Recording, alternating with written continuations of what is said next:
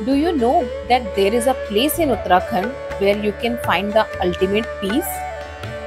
जी हाँ कसार देवी जो कि अल्मोरा से 8 किलोमीटर दूर स्थित है, माना जाता है कि ये टेंपल पृथ्वी की वैन एलन बेल्ट पे सिचुएटेड है। इसी वजह से यहाँ की जियो मैग्नेटिक फील्ड्स काफ़ी ज़्यादा स्ट्रॉन्ग है। और जियो मैग्नेटिक फील्ड्स स्ट्रॉन्ग होने की वजह से यहाँ पे बहुत सारी कॉस्मिक एनर्जीज पाई जाती है। शायद यही वजह रही होगी। जब 19वीं शताब्दी में स्वामी विवेकानंद जब उत्तराखंड आए थे तो उन्होंने कसार देवी को ही अपने मेडिटेशन की जगह चूज़ की थी। और कहा जाता है कि उनको इनलाइटनमेंट की प्राप्ति भी यहीं पे हुई थी। सिर्फ़ स्वामी विवेकानंद ही नहीं बल्कि देश और विदेश से अभी भी काफ़ी सारे लोग यहाँ पे मेडिटेशन करने आते हैं।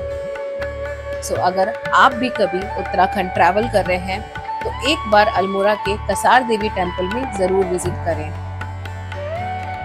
अब बात कर लेते हैं मेरे पर्सनल एक्सपीरियंस की। मैंने ये जगह लास्ट ईयर अपनी फैमिली के साथ विज़िट की थी और मैंने यहाँ जाने से पहले इस जगह के बारे में जितनी भी तारीफें सुनी थी, वो सब एक्चुअली में ट्रू निकली। बहुत शांति मिली थी इस जगह पे जाके हमें और आप जैसा कि देख सकते हैं यहाँ पे काफ़ी हाइट पे ये टेंपल है। सो आपको पूरा अल्मोड़ा सिटी का और आसपास की सिटीज़ का पैनारोमा व्यू भी देखने को मिलता है। एंड वहाँ पे काफ़ी सारे लोग मेडिटेशन भी कर रहे थे।